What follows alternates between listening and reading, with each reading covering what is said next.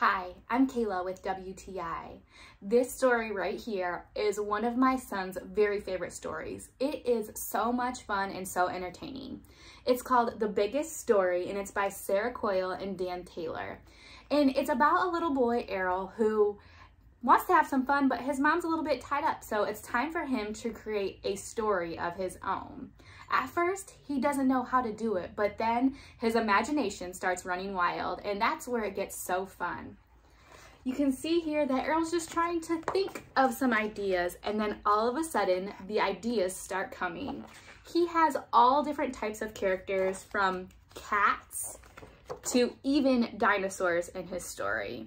I love it. It is so much fun. It's full of humor and silliness and just keeps the kids entertained all along. One thing I really love about this book is after the story is all done, there is a part at the end for the child to start to use their imagination.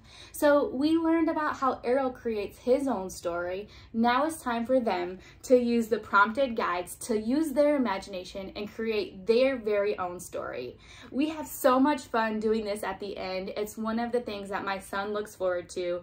Uh, after the book is all done, he loves coming up with crazy and silly stories. It's a ton of fun.